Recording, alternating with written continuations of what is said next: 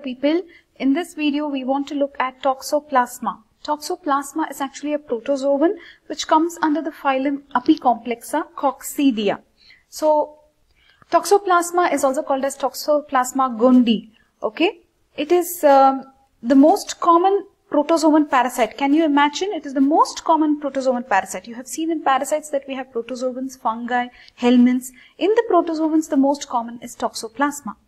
The definitive host is a cat, any cat family animal, and uh, intermediate host will be man. Okay. So basically in the cat, whatever happens is called as the enteric cycle. It happens in the cat's intestine. It, the cat can infect man. The intermediate host is man. It is exoenteric cycle. But man is actually dead-end host. But a mother can transmit it to her fetus. Okay. So is this much clear about Toxoplasma gondii? What did you understand? It is a protozoan parasite. It's the most common protozoan parasite. The definitive host is here is a cat, cat family animals, and the intermediate host is man, where you have the exoenteric cycle. So basically, man is dead-end, but mother can transmit to fetus, causing congenital toxoplasmosis. So to Toxoplasma gondii causes what? Toxoplasmosis. Now, why is this name Toxoplasma? Toxon means arc. These are actually comma shaped. Uh, they look like crescent shaped protozoans. They were first seen in this uh, rodent called gundi. Hence, these arc uh, plasma gundi, right? So basically, it is an obligate intracellular coccidian parasite. It is intracellular. Okay, obligate intracellular.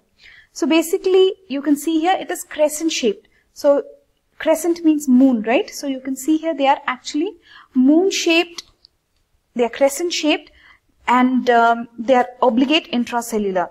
There are three forms, trophozoite form, tissue cyst form and oocyst form. This is the trophozoite form. It's also called as a tachyzoid. This is a tissue cyst. It is a tissue cyst and this is a oocyst. Oocyst is thick walled. Now, you can see here that this uh, trophozoite, which is also called as a tachyzoid, it is crescent shaped. Okay. So basically, the one that is infective, man, infective to man is the sporulated oocyst. Sporulated oocyst is actually have is a oocyst which contains two sporocysts. There are two sporocysts with sporozoites inside. These are sporozoites. Okay. So this is actually seen only in the cat, and from the cat they come to us and they infect us. Okay. How do they infect? Through food. So the mode of infection of toxoplasma, human infection occurs because of ingestion of food containing this, containing oocyst or tissue cyst. Okay. Congenital infection also can occur from mother to fetus. So did you understand how man gets this uh, toxoplasmosis?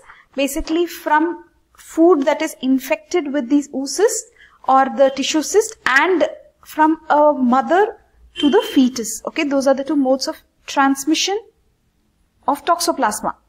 What are the clinical features? Usually it will be asymptomatic as usual. We will say uh, for everything, the starting we will say is usually it is asymptomatic. However, this can affect the brain. So there can be acute encephalopathy, fever, all these small, small things you have to write. Fever, acute encephalopathy, chorioretinitis. So this will be the eye effects. So that is what you will call as the ocular toxoplasmosis, chorioretinitis right? Then you have lymphadenopathy, myocarditis. Can you imagine it affects the brain, the lung, uh, sorry, the brain and the heart. It affects the liver, hepatosplenomegaly, it affects the spleen. So what and all is it affecting? The brain, the heart, the liver, the spleen. Main thing here you have to know is in a person who's immunocompromised, like in AIDS, where the person is having acquired immuno, immunodeficiency syndrome, he's immunosuppressed. So this person can have a, he can get a toxoplasma infection either by uh, you know a recurrence within him or a fresh infection. But this is a major fatal complication in AIDS uh, patients. So be, remember it is a major fatal complication in AIDS uh, patients. It involves the brain clinical manifestations will be encephalitis altered mental state seizures cerebellar signs meningismus neuropsychiatric manifestation. So it is affecting the brain a lot and it can be fatal. Besides the central nervous system in these people, it can affect the other organs like lung, pancreas, gastrointestinal tract, eyes, heart, liver. So you already know, you have studied this. It affects the brain, the heart, the liver. And here they are adding what? Lung, pancreas, gastrointestinal tract in AIDS patients. It can cause toxoplasma pneumonia.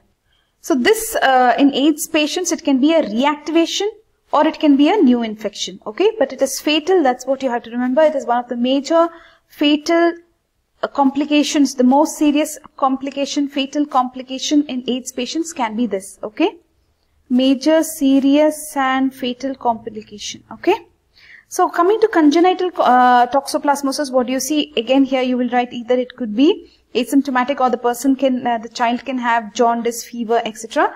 But specific things you can write as chorioretinitis. That is an ocular manifestation. Brain, you can have cerebral calcification, convulsions, strabismus, deafness, blindness, mental retardation, microcephaly, hydrocephalus. So it looks very complicated uh, in um, a neonate. So that is why uh, they try to avoid uh, a cat as a pet with pregnant women. But however, if the cat is tested and uh, treated, it should be fine. So did you understand uh, the clinical features of Toxoplasma gondii? That is toxoplasmosis, the disease? Okay. Now what is the treatment for toxoplasma? Uh, congenital infections are treated with uh, uh, pyrimethamine and sulfadiazine. For primary prophylaxis, example for AIDS patients whose lymphocyte count is really low, they can give trimethoprim and sulfamethoxazole. This is nothing but cotrimoxazole, correct? So in cotrimoxazole, you can go and add this word. It is used as primary prophylaxis for uh, toxoplasma infection, okay? So now we want to focus on the diagnosis of toxoplasma. You know the clinical features. Now if you want to ask the lab to, uh, this person seems to have toxoplasma, can you diagnose? How is the lab going to confirm that this guy has toxoplasma? Guys, wake up. We are looking at what now?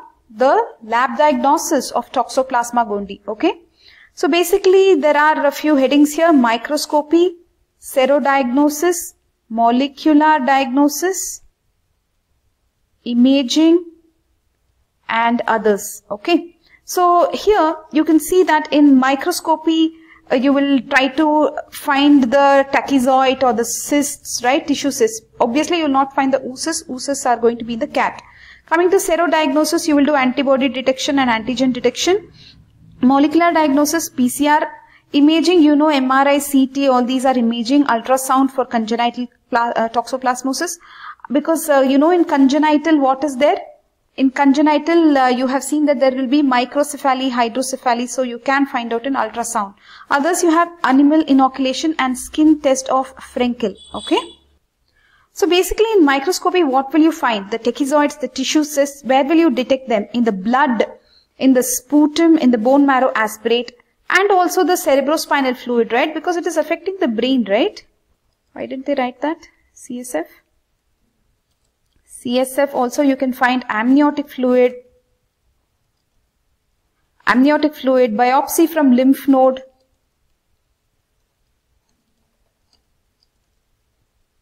So all these things you can use to detect the tachyzoids and tissue cysts. Okay. You know that the oocysts will be there only in the cat family. So in us, what will you see? Only tachyzoids and tissue cysts. Okay. The stains that we are going to use are Giemsa stain, PAS stain and GMS stain. Have you seen the photo with Giemsa stain? So a good thing to do at this time in, if they ask lab diagnosis is to draw the diagram of the tachyzoid and the oocyst, right? You have you seen, have you focused on the, have you focused on this diagram, how to draw it if they ask? So draw one crescent shape like this, draw one nucleus here, draw one mitochondria here, then draw rhoptery kind of things here, cytosome, Golgi body. So you'll have to draw this. Something like this, okay, at least a comma shaped with a dot you draw. You know, one of the simplest diagrams to draw will be something like this. Comma shaped or crescent shaped.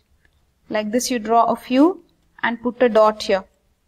At least this much if you draw, you will get some microscopy marks, okay? Then this is thick wall tissue cyst. Remember to draw one circle and put some circles inside it with dots. That is tissue, uh, thick wall tissue cysts. Only these two you have to detect in microscopy. Now let us move on to serodiagnosis. Okay, serodiagnosis means you will detect the antibody or you can detect antigen, either of them. For antibody detection, you can use, uh, you can detect uh, IgM or IgG. IgM, let's put it first because that is the one that appears first, right? Okay, for IgM, let's try to highlight. For IgM, you will use double sandwich IgM ELISA or IgM ISAGA. What is that? Immunosorbent assay. Okay. That's all. Then you can detect IgG. For IgG, you can try ELISA indirect fluorescent antibody test, latex agglutination test and Sabin-Feldman dye test. We'll come to the details of Sabin-Feldman dye test. So just know for detecting IgG, you can use ELISA, indirect fluorescent antibody test, latex agglutination test and Sabin-Feldman dye test. Okay. Now as you know, this there can be congenital toxoplasmosis. So you can also detect IgA. IgA where will you see in, the breast milk, right? So for that you will use double sandwich IgA ELISA. So for, so for newborns they can do this test, okay? IgA test. They would have got it from the mother. What do you think? IgA. Antigen detection, uh, you can again detect uh, antigen in uh, by ELISA. So basically in AIDS and other immunocompromised patients, antigen detection is very useful. Okay, you can also detect the antigen in amniotic fluid to diagnose congenital toxoplasmosis. So now we are done with serodiagnosis guys. Are you awake? So we have finished what and all microscopy and serodiagnosis are over. Now we are going to move to molecular diagnosis PCR. Before that, just take a look at what the Sabin-Feldman dye test is. Here you're going to stain the trophozoites with alkaline methylene blue dye. Okay. That's all guys. Sabin Feldman, dye test means at least know this. You will stain the trophozoites. Okay. But how is it antibody detection? Basically, you're going to check the presence or absence of toxoplasma antibodies. Okay. So specific inhibition by antibody, staining of trophozoites by alkaline methylene blue dye. That's all. Okay. You will see whether antibodies are present or absent. That's all. Okay. So Sabin-Feldman dye test. Where do you see Sabin-Feldman dye test? In uh, the lab diagnosis of Toxoplasma gondii. Remember that this in this you are detecting what? The IgG. Okay. For IgG, you're using these tests. Sabin-Feldman dye test. Okay. Is it too much? Uh, is it becoming a little too much for you? Because micros, uh, the lab diagnosis is the main thing that they have asked in uh, toxoplasma. So just pay attention here. We'll finish it off very quickly now. Molecular diagnosis, PCR, you know. Imaging, MRI and CT scans you will write, right? Not much to do there. And ultrasound scan to detect any uh, congenital toxoplasmosis. Coming to animal inoculation, you can do animal inoculation. And skin test of Frenkel. What is the skin test of Frenkel? Focus here on skin test of Frenkel.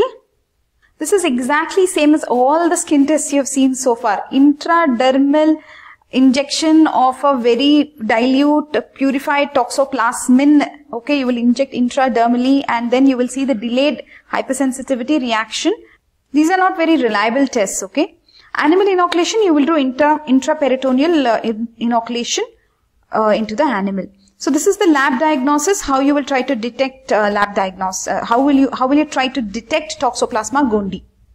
So if you suspect a person has toxoplasmosis, then you can do all these. Collect all the specimens like this, do microscopy, do antibody detection, antigen detection, molecular diagnosis, imaging, others, okay? So draw a nice diagram like this, okay? That's all for now in Toxoplasma gondii. We will meet you in the next video take a quick recap. It's a protozoa, Apicomplexa coccidia. Most common protozoan parasite. Definitive host is cat family. Enteric cycle. Intermediate host is man. Man is dead end. Exoenteric cycle. Mother can transmit to fetus. It's an obligate intracellular coccidian parasite. First seen in uh, Gondii the rodent. Toxon means arc. Morphology, you have a trophozoite or the tachyzoite. You have the uh, thick walled tissue cyst, which is the resting stage, which contains something called as bradyzoids. Okay, just please look at this extra word here. It contains bradyzoids. Then you have the oocyst, which contains sporocysts with sporozoites. This is the infective form to man. Because this thing is seen only in, uh, in cats and cat family and they infect man. So this is the infective form, oocyst. Then how do we get this infection? Ingestion of uh, contaminated food, congenital infection can happen.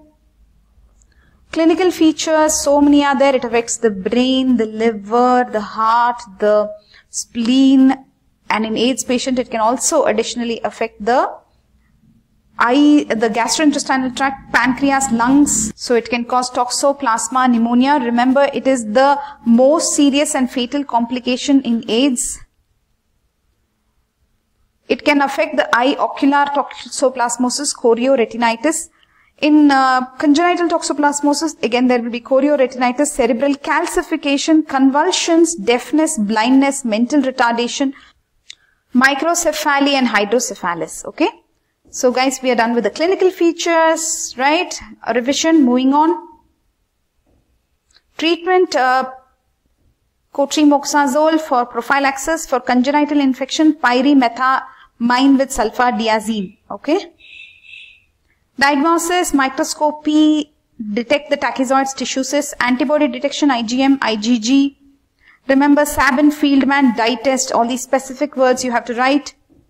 Double sandwich, ELISA, you will do molecular diagnosis, PCR, imaging, others, skin test of Frenkel.